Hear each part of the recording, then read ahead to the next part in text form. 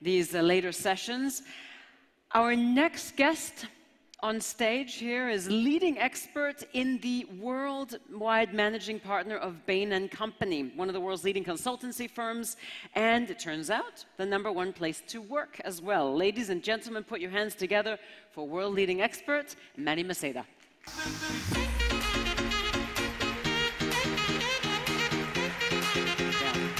Thank you, Lisa. Thank you, Manny. Thank you, everybody.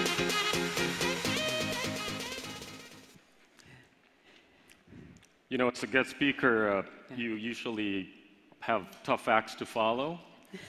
but I really enjoyed that. Well, just don't make me cry. Yeah, So, that's the uh, only thing I ask. So I'm actually grateful to have had a chance to, uh, to, uh, to see that performance. Thank you. Uh, happy to be here. Thank you, Louisa, for the kind introduction and for the invitation. It's, it's so nice to be in front of a large, unmasked audience speaking. I hope uh, all of you have uh, enjoyed the, the time here. Um, the topic uh, for the day that I'll talk about is uh, building a winning culture, a corporate culture, a very topical issue, and um, you know one that uh, uh, is very close to my, my heart. Why, why does this matter? You know, I'm with my company because of a winning culture. Over 30 years ago, I'm a little older than I look. Um, I was uh, after my first year of business school, and I discovered this uh, industry called management consulting.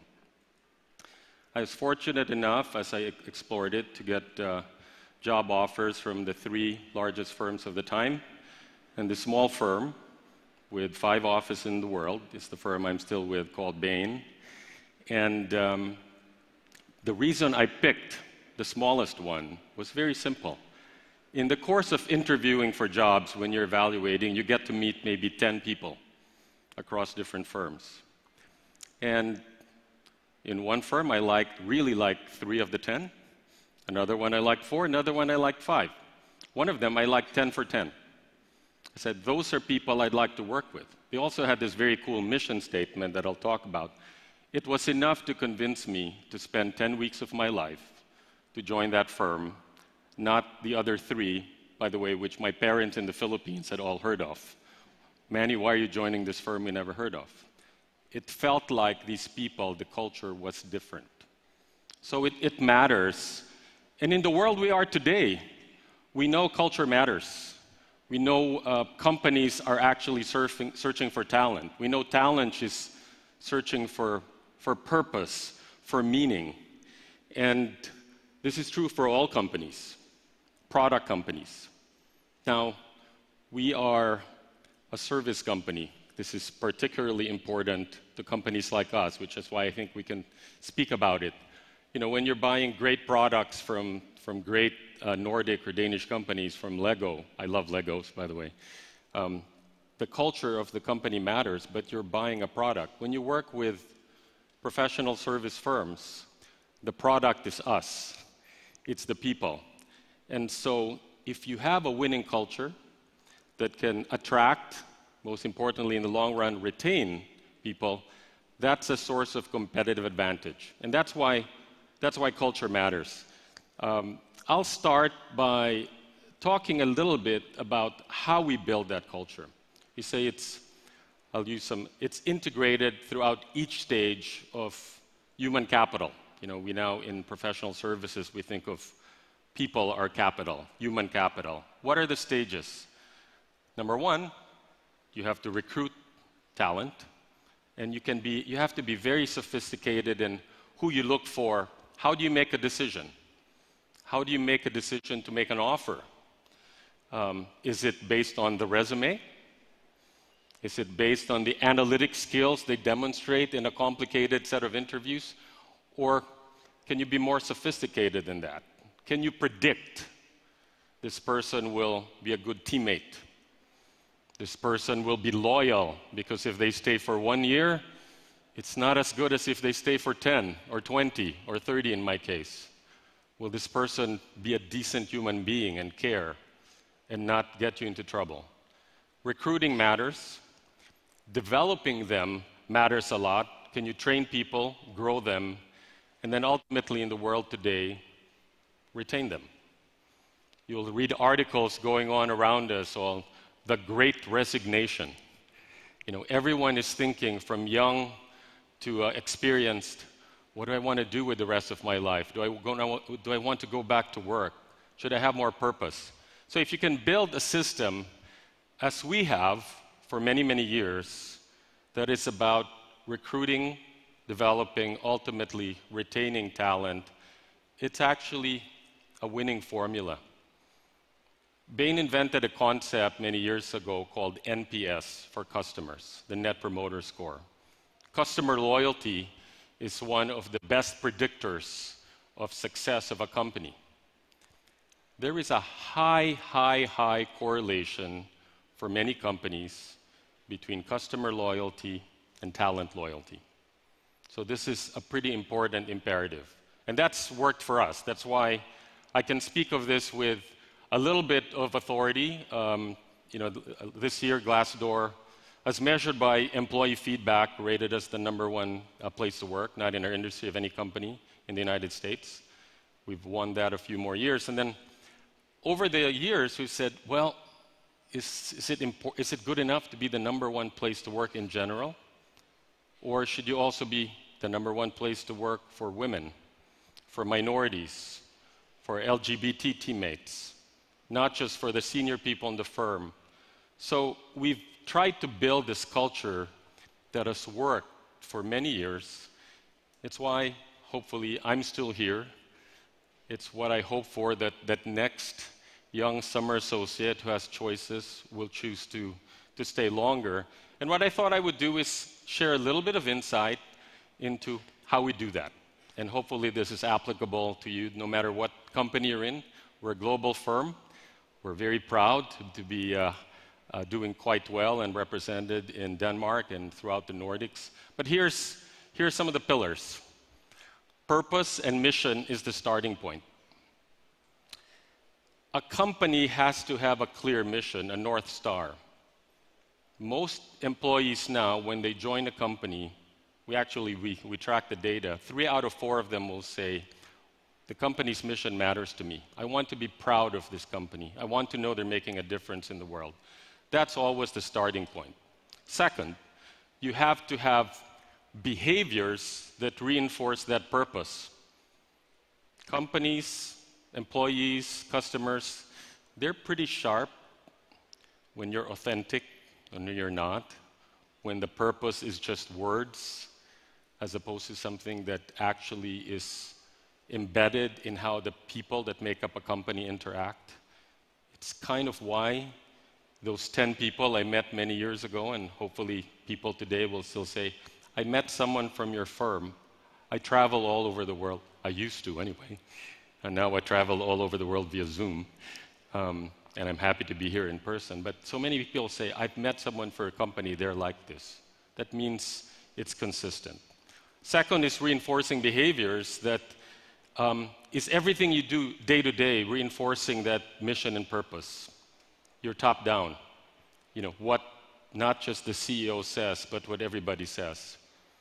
Third, in order to uh, build a winning culture, you have to keep learning and developing. You have to invest so much and treat it as strategic investment. When we're all making trade offs on financial capital, how much are you spending on people, on talent, on training, versus everything else we have, we have to do? And lastly, you have to keep innovating. Because guess what? While much of these cultural things change over many years, um, the world is constantly changing, and, and I'll comment on that.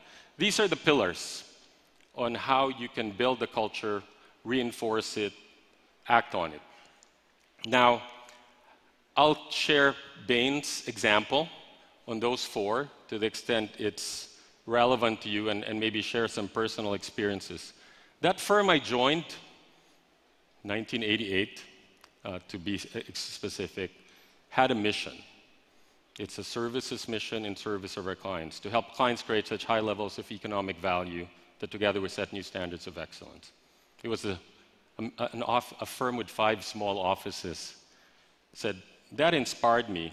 But when I was privileged enough to be asked to serve as our chief executive three years ago, the question you ask is does this mission still resonate in today's world? I just came from uh, COP26. I spent a few days in Glasgow. I was struck at how many chief executives I talked to were revisiting their purpose and mission, you know, around adding sustainability to some of the principles and behaviors like IKEA has. I chose to make one simple edit delete the word economic. And the rest of it still hangs together.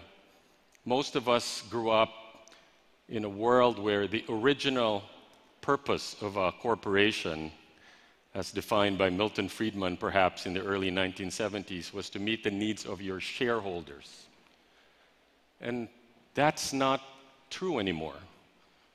You know, as an American CEO of a global company, I'm also a member of a group called the Business Roundtable in the US. Two years ago, we redefined the statement of purpose of a corporation to have multiple stakeholders.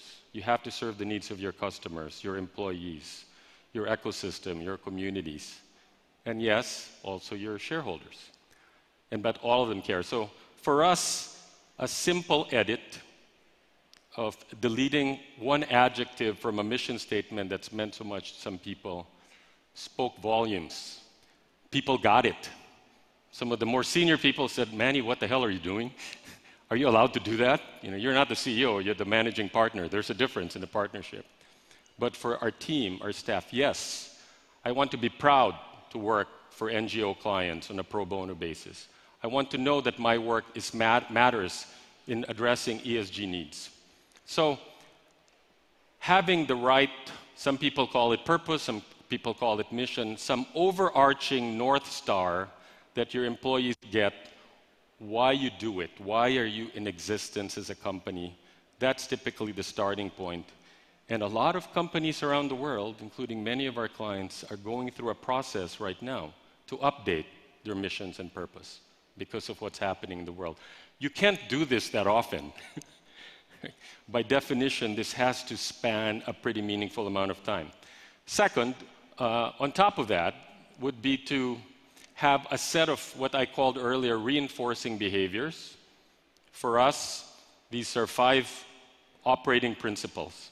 I won't spend too much time on this um, because every, I hope every one of your companies has a set of behaviors that you would recognize. Some of these, uh, because of the, uh, the, the internal lingo, I'll just call out. True North. What does that mean? An internal compass to do the right thing. Do you know where True North is? You know, not, not north as designed by a compass that might be off by a little bit. That's inside you. And to always be guided by that. Um, practical and at cause. What does at cause mean? in our language. At effect is the opposite of at cause. If your world, if you, if you react to what the world throws at you, you are the effect, and you, you deal with the effects versus being the cause, being proactive. And, and so a few more others. Uh, it's very important for most companies to have a clear set, whatever you call it, different company call these different things, operating principles, reinforcing behaviors that are thoughtfully built. And last year, while we were in the middle of this global pandemic, for the first time in almost 30 years, we first built the original set of operating principles in 1995. We refreshed this with a lot of input from the talent we have today. That's also a good process to, go, to do, not that often, and by the way, we took them from 10 down to 5. So if you have the right purpose, if you have the right um, operating principles, then we get to reinforcing behaviors. I was in a Q&A earlier and people asked, what are you going to talk about? Well, how do you actually do this as leaders? Um, we go around the loop. Reinforcing behaviors. You, the management, the leadership, all the way up to me, we have to you know, we have to not just talk the talk, we have to walk the walk. We, we have to do it as, as leaders, make, make the choices, be out there. You know, a lot of what defines Bain today is extremely close to my heart because it was a company I joined many years ago. It was mostly, you know, a senior white male American-led firm. And I was a kid from the Philippines who joined this firm, and now we're a global firm, diverse in so many ways, constantly trying to make decisions um, to, uh, to reinforce the mission and the purpose. And you can connect the dots. We made the decision, for example, two months ago I don't know if this is controversial here, to mandate vaccinations for a team. That was, we viewed as a decision that I could make from the top to reinforce the value for us of getting people to work together physically and not just virtually and make people feel safe. So you always have to have leadership reinforce your values. Second, uh, feedback loops when I spent uh, uh, 10 weeks as a young summer intern many years ago, something really surprised me about that experience, and it's stayed with me till today. I had a chance as a young summer intern to present a case uh, to a client that might be risky. I was, I was excited. You know, I seemed to have done well. The senior executive on Bain, the partner, sat me down and gave me feedback. That's a classic feedback loop. Manny, here's three things you did well, and here's two things you could do better. I'm not sure if that was the appropriate ratio. We think about that, but three positive. and then he surprised me and he, by saying, You also heard me do my part of the presentation today. Do you have feedback for me. In fact, I'd, I'd ask it. That always stuck with me. You know, I'd been with the firm for four weeks. The senior partner's asking me for feedback. Is this a trick question? And uh, he was legitimate, and so I, I did my best. So feedback loops matter. We think about feedback in a small loop, meaning tactical, uh, feedback after a meeting, feedback after a team, and a big loop.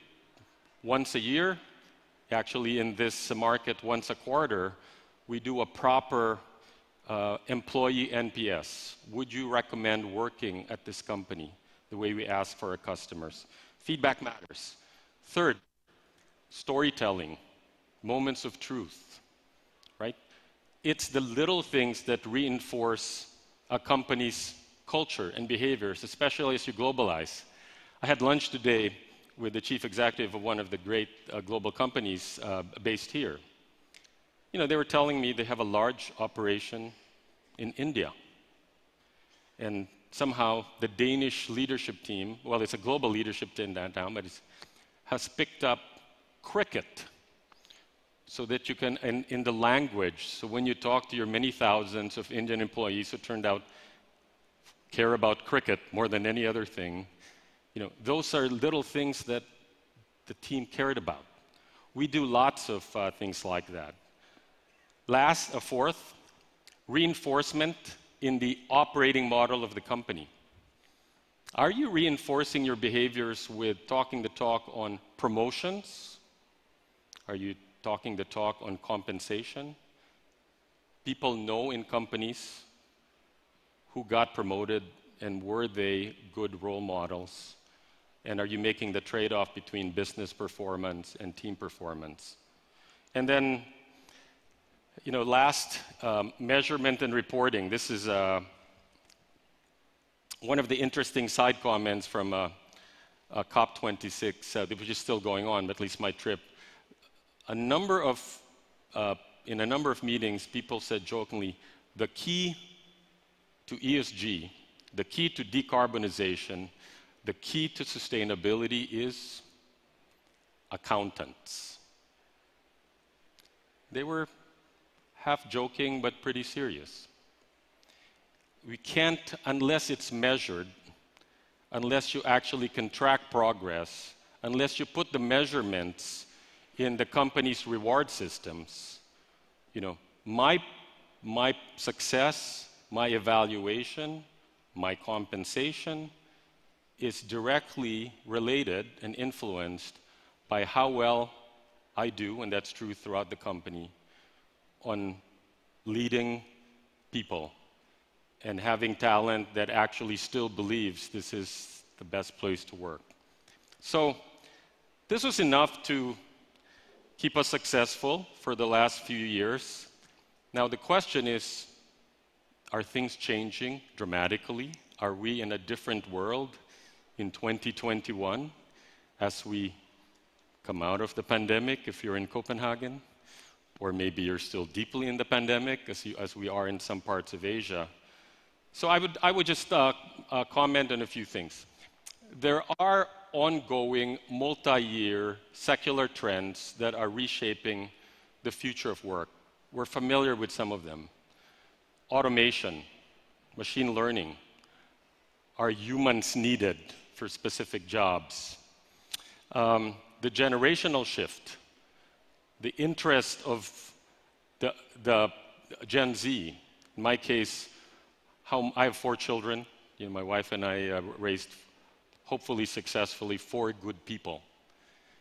But their mindsets are very different from my generation gig economy, gender parity, purpose. On top of that, we've just lived through, depending on where you are, a year, 18 months, well, probably two years of COVID, which have added even more pressures to talent.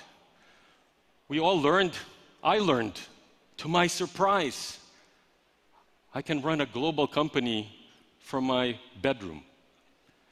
It's not as enjoyable necessarily. I'm happy to be in London and Glasgow and Copenhagen and Stockholm as I'll be in this trip, but gosh, it's more efficient. And it clearly gave us a much lower carbon footprint. So we have a number of things that COVID is, um, has actually accelerated that makes you question do the talent models, do the things you need to do to build a winning culture change? Job fluidity, um, the importance of mental health you know, the fact that all of us as companies, as we saw our workers all working in small rooms doing Zoom, um, and the emotional and mental toll, all of that takes seriously. So these are affecting the future of work for sure. And then you, on top of that, have a different role that business and society is, is entering. I mentioned earlier, it used to be shareholder primacy. Now it's stakeholder capitalism. Um, sustainability, diversity, purpose, net zero, mission. These are now what define what our workforce want to work on, what companies they want to work for. And so you add these things with the ongoing secular trends and the, uh, the new COVID related trends, it clearly is reshaping the uh, talent model of the future in a few different ways. I'll summarize a few. It, every organization has to have a stronger sense of person, purpose, mission, and impact. If you don't, you will not be able to attract and retain the best business talent, the best talent, period. The workforce has to be more diverse more inclusive in all aspects of diversity. You know, sex, gender, race, global history, very, very different skills. Um, there has to be more flexibility. People can choose a little bit why I work, where I work, when I work, and we have to empower them. Um, there is an increasing specialization because of the distance issue the best person for this job may not be in Copenhagen, might be in Bangalore, might be in San Francisco, for where I'm from. And then often you have a specialist background to do that role, but because of technology, you can bring it to your team. This one, um, having workers organized in cross functional teams, uh, we've been at this for a long time as a company that works by definition in cross functional teams the original thesis of a corporation and the most efficient way is organize functionally, get deep experience, get more effective. But so much of what has to be done now is cross functional. And cross functional can now happen because of technology for many, many different places in the world. Uh, a couple of more. Automation will continue. That will create challenges and potentially inequality. The impact of all of the technologies on jobs is one of probably going to be one of the defining issues of the 2020s. And then last, more dynamic career pathways. So think about all of these influencing our talent models, and then maybe ask some questions along the way. Are these, uh, are these internally consistent? No. No. A lot of these things will come in direct conflict with each other. And so your strategies as a company have to balance so many things into account. And I'll, I'll probably wrap by saying something that at the beginning is why this matters so much for us. I think it matters for all. There is the needs of your customers, the needs of your investors, the needs of your workforce.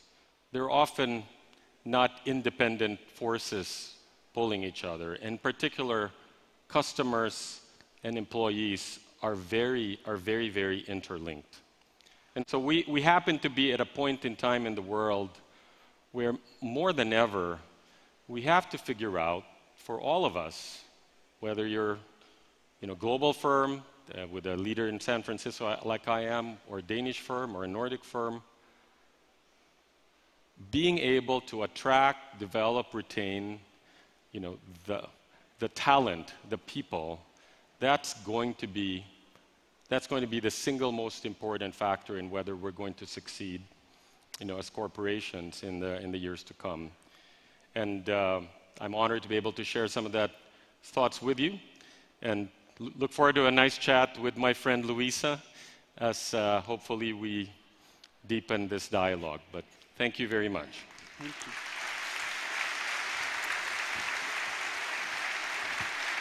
Thank Manny, you. thank you. Thank you. Have a seat, please. We'll continue.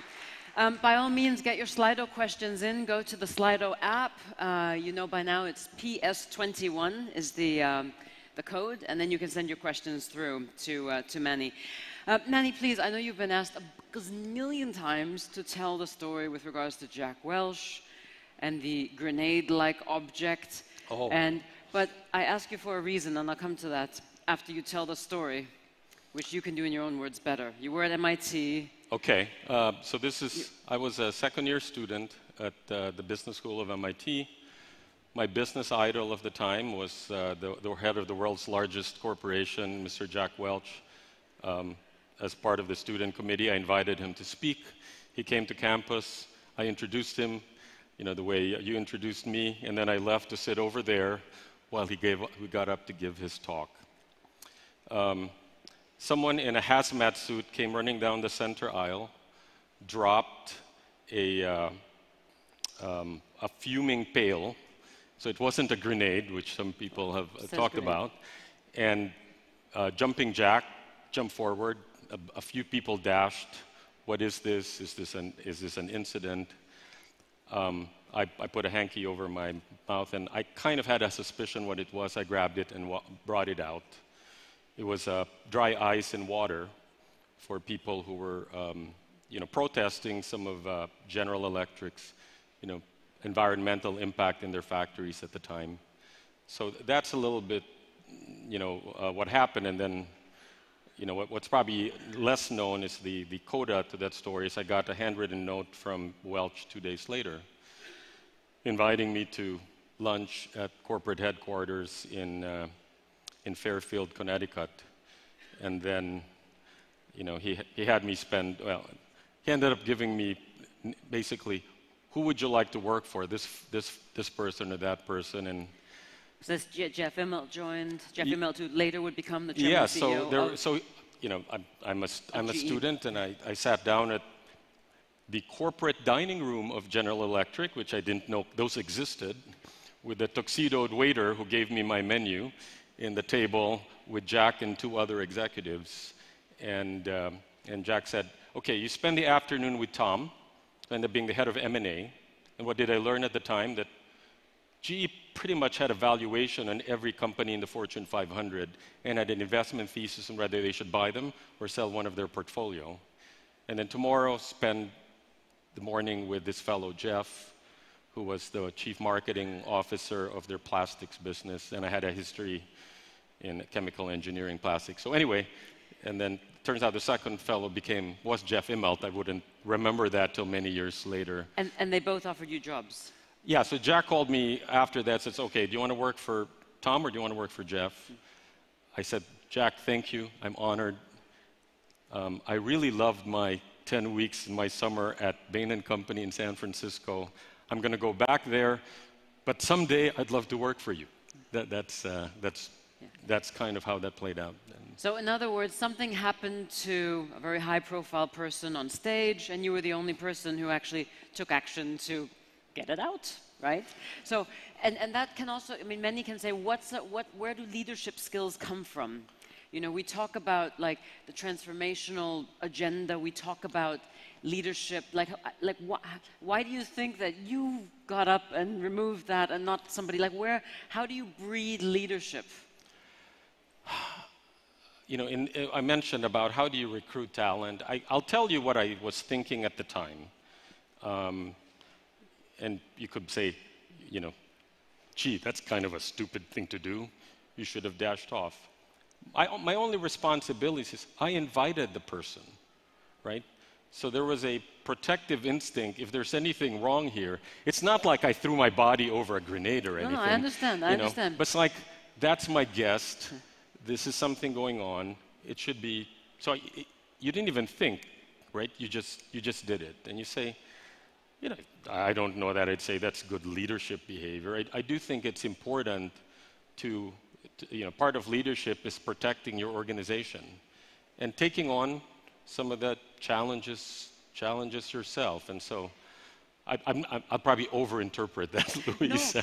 No, no, I just, I always think it's interesting. You know, some take action on certain things, some don't. I get what you're saying that you invited, but you know, you, you guys, you've been voted, you know, best place to work a number of times, right? Like, I mean, why? Why? Why? Why do you think that there is a good culture, a good leadership culture, obviously, or you know, yes, it's reflecting you, but that it's also it's a it's a broader culture. Otherwise, otherwise you wouldn't be voted number one place to work for you know a number a number of years, right? So, I think it's because it is part of the mission statement. I read the earlier part, um, you know, to create such high levels of value. There's a second part of that mission statement. This mission requires a community of extraordinary teams. That's for us, that's language for make it, keep it the best place to work. And so for leadership to always be trying to role model that and to protect an organization, protect your team, and you know, leaders make decisions every day that are sometimes hard. You know, I, I, the decision we made in early September to mandate vaccinations for United States employees, we didn't publicize that. Right? There's leaders. Leaders sometimes, um, you know, actions. Words sometimes matter, but actions should speak louder than words. Um, yeah. I think that, that was an example. Well, why are you doing that? It's a safety issue.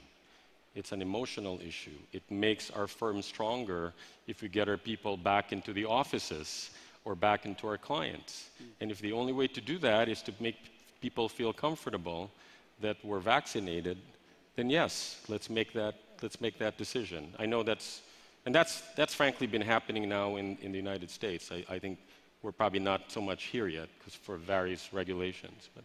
Let me get to some questions mm-hmm. that are coming in. Um, what is the single most effective thing you've done during your career, not as a corporate manager, but as a leader of people?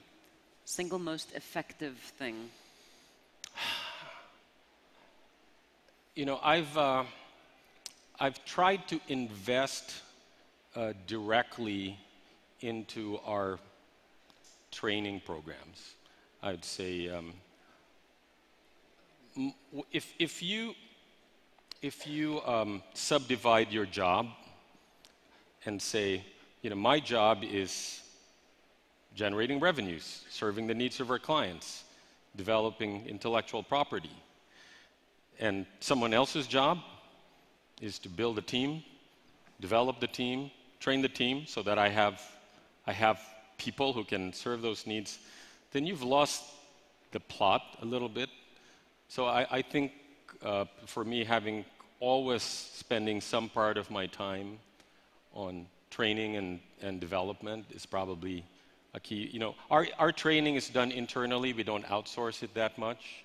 Um, and every two years, you get you spend a week, even partners, even senior partners in our firm. And every year, I, I go to, to at least two training programs as a trainer. And then I try to learn from others, which we can have a separate conversation too. Yeah. Um, you were mentioning uh, how important culture is. Uh, how do you support culture with so many employees working from home? Frankly, it's hard. Um, this, uh, this issue of, you know, we, we've made a commitment, um, and I'd like, I'd like even our team here to challenge us to hold it, to still be the best place to work in the future, right?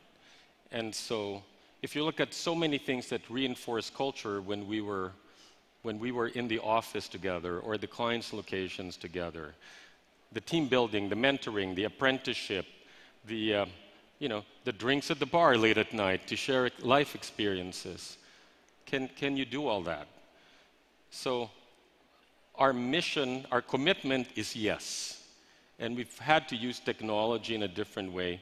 But I'd say it's challenging and so we believe the answer is going to have to be some hybrid version that keeps the benefit of working from home, autonomy, flexibility of hours, lower carbon footprint, with some of the things you can't get working alone at home mentorship, training, relationship being. We are a social species, Homo sapiens. So we, we have to do both. And part of the reason, Louisa, we chose to, uh, to do a, a, vaccine mandate in the United States, um, which, you know, we've looked at regulations. We strongly, strongly, strongly encourage it everywhere else in the world. But we, we don't think, at least our legal uh, um, recommendations, is we can't actually mandate it. Um, but we strongly encourage it, is because we actually think part of the answer is it can't be 100% work from home. You can't, I'm sorry? Part of the answer to your question is it cannot be 100% work from home if you're going to try to at least do some of the aspects of, you know, of uh, winning cultures that companies like us have. Um, you've climbed the corporate ladder uh, quite well, to say the least. Which qualities or skills helped you to stand out among your colleagues and achieve your current position? And, and add on to that, what would you look for in people you're hiring today? It's hard to self judge. Um, so I'll, I'll tell you one thing that has mattered to me from the beginning, and I still look for that in hiring. And I'll simplify it by saying, can you see can you see the big picture? It's a little trite, but what does that mean? Um, you know, for, for us as organizations, the big picture is anchored back in the mission. Right? How do you create such high levels of value? Shareholder value, customer value, stakeholder value. I actually think that is a mindset and a skill. So I, not, not because I feel I'm strong that way, I actually differentially look for that for people. What does a big picture mean? Most people in, uh, in, um, in an organization or even in a client engagement are working on a very, on a relatively narrow topic. Let's say you're working on should we change the price of this product? You know, my, Christmas present my kids gave me in advance of Christmas, which I can't wait, uh, R2D2 Lego you know, which I'm going to do on the morning of December 25, you know. And um, so let's say the product is, should you change the price? That might be what I'd call a narrow picture. Right? What's the big picture? Well, the biggest picture of all is how do you make Lego a really great company? And if you can connect the dots from pricing a product or improving a finance function to the ultimate mission, you know, is Lego going to be more valuable? Will it meet the needs of more shareholders? I actually think that is a, that is a skill. And I do think as a, as a chief executive, you have to see the biggest picture of all. And often the picture is not just inside your company, it's, it's outside what's going on in the world. And so. Mm-hmm. Can performance outperform a bad or poor cultural fit? You know, I'll, I'll, I'll go back. Uh, Jack Welch uh, has uh, you know, passed away many years ago, but um, he used to have this very simple matrix. Um, and, and that's a lesson. I've tried to pick up lessons from different people I've known and worked with over the years. And consultants like to think in two by two matrices, by the way. So one dimension is a good performer, not so good performer. Do they hit their numbers or not? And the second dimension is, you know, are they a good teammate or are they good, they good people person or not? And Welch always said the hardest quadrant was the person who delivered on their numbers but was not a great people person. Um, in our firm, that quadrant is not acceptable. You know, that might be okay for one quarter and you get feedback, but you have, if, you know, and by, if you haven't improved on that, ultimately this is not the place for you. And, and, and part of maybe the flexibility of a private firm is, you know, we can do that. But that's very consistent with reinforcing behaviors and the values. There are some firms, by the way, out there, so I don't mean that this model fits for everybody, that will say performance is the one that matters the most, and they'll take it. And I, I kind of think that's, that's relatively short sighted. Um, uh, tons and tons of, of, questions coming through. We're, we're running out of time. Shall we do uh, three last ones? Yes. Um, uh, uh, excuse me, it's jumped. I had one, a good one here we hadn't touched on, um, but it just jumped. Give me one second. Yes, when you are consulting, do you think your firm's culture needs to be similar to the client's? Oh, um, good question. And, and, maybe values in there, values or ethics or. Uh, I would say increasingly there has to be some alignment and, and I'll say some extremes. It's definitely easier, you know, in a talent-based organization with people in our firm who can choose to work on topics or not. And so, you know, we're, we're not a command and control, you know, Louisa, you have to work on that client on that topic, right? That's, that's not the nature. I would say when there is a sympat- simpatico culture and values fit, it's a lot easier.